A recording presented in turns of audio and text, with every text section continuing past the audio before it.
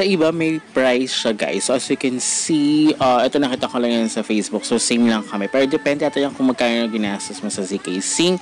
So, 900 Don't forget to join my road to 10,000 subscribers here in my YouTube channel and of course sa aking uh, Facebook page as well. Marami akong exciting, more upcoming prices. And huwag natin patagalin pa. Uh, pag-usapan na natin ito in 5, 4, 3, 2, 1. Let's go guys!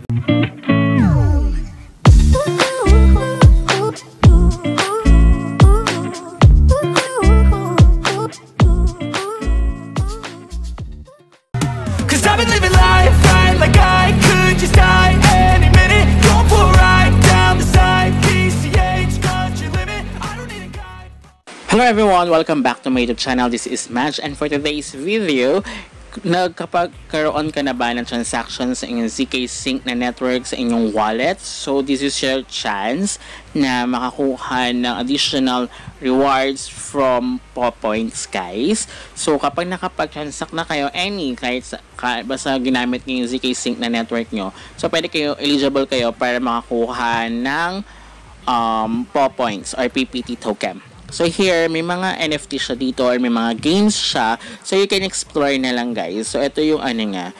Uh, I don't know kung limited lang siya or may time limit. But uh, habang maaga pa is i-collect niya na. Sayang din naman. So, marami ako nakita na may mga price siya. So, ang laki ng mga nakuha nung iba.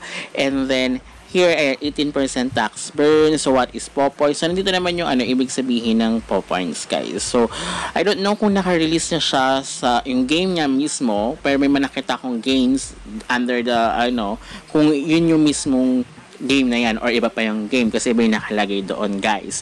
So here, uh, meron din silang NFT marketplace, meron din silang uh, andyan naman lahat. So, you can explore na lang guys. Ang kailangan natin ngayon is mag uh, connect yung wallet natin and then get the uh, POP points or PPT token. Pero uh, airdrop, POP points airdrop bonus. So, here, uh, ilalagay nyo lang, parang dyan mag-automatic. Kunyari, once na kininek yung wallet nyo, dyan mag-automatic kung magkano makukuha yung PPT na airdrop. So, either Wallet Connect or browser wallet. So, I, dahil naka, andyan na yung aking MetaMask and dito ko yung ginamit yung ZK5 uh, dahil sa Orbit Pad. So, maliit lang naman yung ginastos natin for that one. So, I don't know kung malaki makuha natin. So, ayan. 18,629. I think this is the minimal. Depende siguro sa milestone kung magkano. So, ito yung may nakita ako na meron ng um, meron value sa kanya. Pero pagdating natin sa MetaMask, o dito is 0.32. May mga nakita ko 0.27, 0.45. It's really depend siguro kung magkano makuha mo po points na token. So, ayan, na-claim na natin. So, you need to pay the gas fees, guys, para makuha nyo yung ito. So, nakita ko, itong worth na neto is nasa um, uh, check natin kung meron siya sa CoinGecko. Pero kasi airdrop pa siya, diba? So, possible wala siya. Pero kasi sa ibang wallet, merong nakalagay na kung magkano yung value.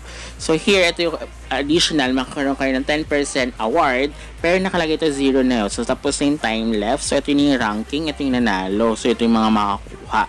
So, ayan. Invite 16 dami, diba? So, nakita ko lang kasi siya. Ngayon kasi parang, I think this is the uh, claiming day nila. Kaya, pwede na mag-claim. So, sayang naman, ba diba? So, kung talagang yun yung uh, amount niya, much better kasi magkano rin yan, 'di ba? So ayan. So pero lalagay ko lang sa description box down below, guys, para uh, kung nakapag-transact kayo, hindi nyo pa na, hindi nyo pa alam to, hindi nyo pa nagagawa, is punta na lang kayo, guys. So para at least makapag-claim din kayo. Sayang din naman, 'di ba?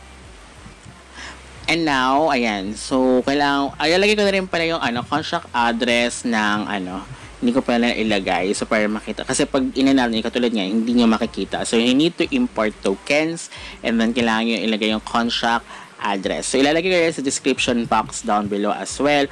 So, yung PPT. Actually, kasi dalawa ata yung PPT, ang alam ko. So, ito wala, tingnan natin. Pero sa akin kasi, as you can see, wala nakalagay kung magkano yung mismong exact uh, price. Yeah.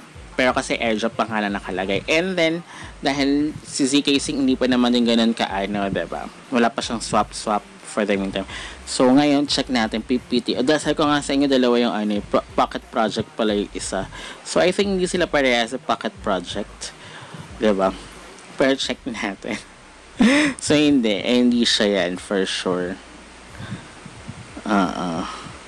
Hindi ito yon guys. So, pero kasi sa ibang wallet may nakalagay na ano. So, wala pa siya sa CoinGecko but let's hope na once na ano is paresa paresa. Ay, ito yung katulad sa akin, $18,629.9921. So, laki, diba? So, magka, magkano din yun? And then, nakita ko sa isa sa mga friends ko sa FB, mas malaki na kuha niya. I think kasi siguro, kung ginawa mo yung airdrop ng CK Sync, malaki-laki yung mga kuha nyo. Kasi doon kailangan ng bridging, swapping, bridging, swapping, so something like that. So sa kawan is 45,000. So $2,000. So magkano rin siya. ba diba? So ang laki. Sa akin, 118, ano lang, diba? Para ito, 921 dollars. So let's hope na pa pwede maging maganda at pag na ano is same pa rin yung value niya. So update ko lang kayo guys. Wala pa naman kasi kung pwedeng i-swap or something. Update ko kayo regarding this one. So until next time, goodbye!